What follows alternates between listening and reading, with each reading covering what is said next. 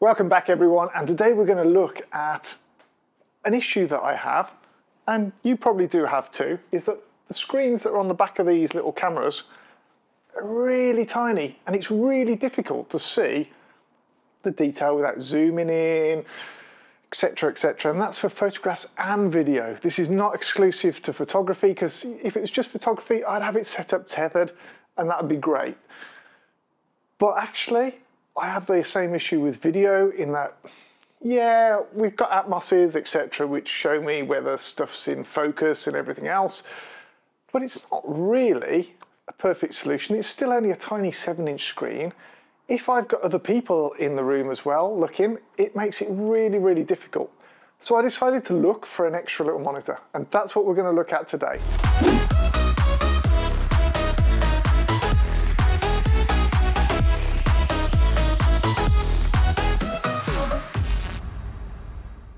So, I've been and ordered a little 12 inch screen. Now they did do a bigger version and I could have gone for that. But it's a lovely, lovely little screen. It's very, very thin. See there? Really, really thin. Probably a, well, it's probably about the same thickness as an iPhone, maybe a little bit thicker. Beautiful. Now, the great thing about it, it's got a VESA mount on the back which is perfect for what I want. Now, other uses for this have actually been, I've used it on Nintendo Switch. Um, I can actually use it as a second screen on my iPad or my laptop as well because it works, it's got a touch screen. This is great as a little additional screen. It's so useful in that respect.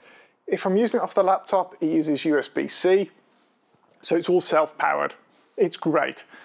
Um, yeah, not what I was expecting, I've got to be honest. I bought it for this use and I found other uses for it.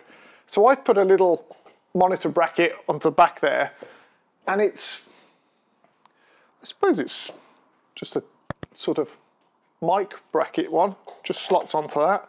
And that's just going to go on top of my light stand. And that is going to enable me to see whatever I'm shooting in higher detail, which is great, being able to see that. But also if I'm doing video as well, everyone can see, it's a lot clearer to see that everything is in focus. And I think that's really important. Um, and it's so easy to miss. So let's set this up and have a little look. We've got the screen here and we've got it outputting onto here. And obviously it is just what the camera is outputting basically onto there on HDMI, which on photos is great because we're just getting a larger view into there I can obviously zoom in as well. So when I zoom in on there, we're zooming right in and I can see the detail. I can see all the dust that's on that flower that's been there for ever and a day, which is great.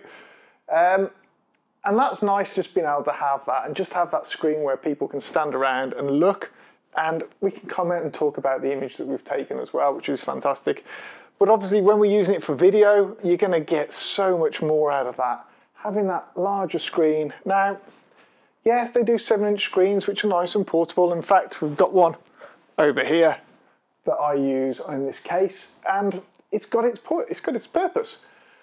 It is fantastic in the fact that it's portable, it fits in that case nicely, but it is bloody difficult to see, and to see if everything's in sharp, basically. We're in focus.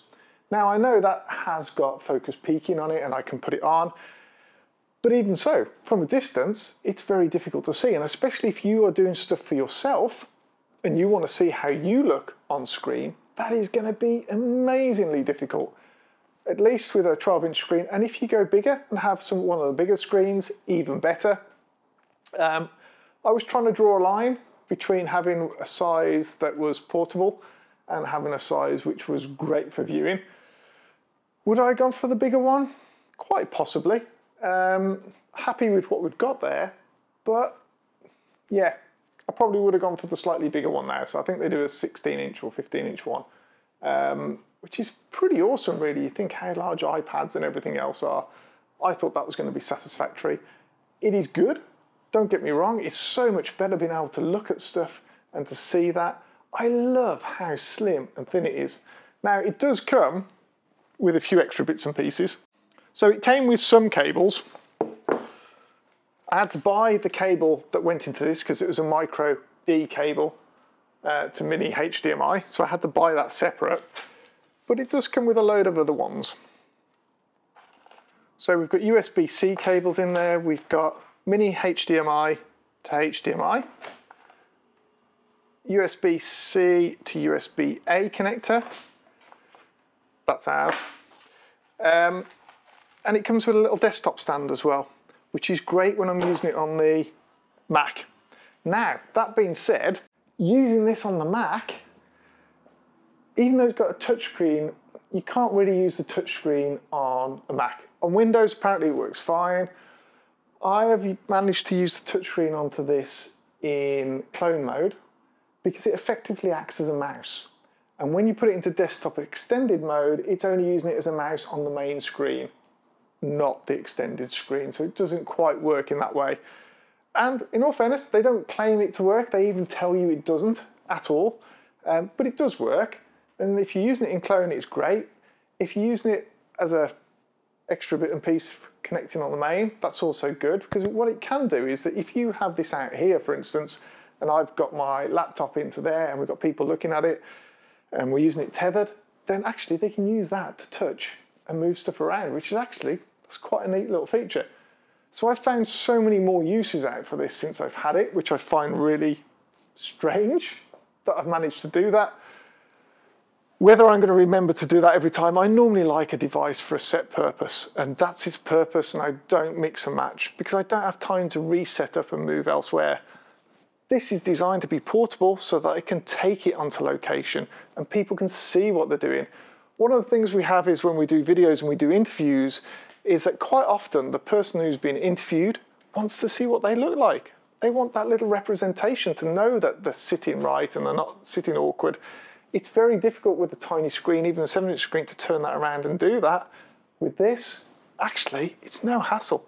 We can turn it around so they've got a view of themselves as well. So there's plus points all around here for this. Um, it is an alternative to 7-inch monitors. I think we will start to see these come out with focus peaking and everything else in the future. I don't know. I'm hoping that's the case because it must be a really easy feature for them to implement into there. And it would be great to see. Um, so yeah, we'll look forward to those, into that. But this was just a simple little video to show you this screen as something you might want to consider. If you have the problem of not being able to see yourself, great for selfies. If you've got your camera in the studio and you're trying to do something as well, and you've got the remote control in your pocket, you're trying to do a shot, but it's really difficult to see yourself. Even if you've got a flip screen, it's so tiny, you're not going to see. This, actually, it's quite good. Short video, hope you liked it. If you want to check out the screen, there's a link down below. Um, yeah, see you on the next one.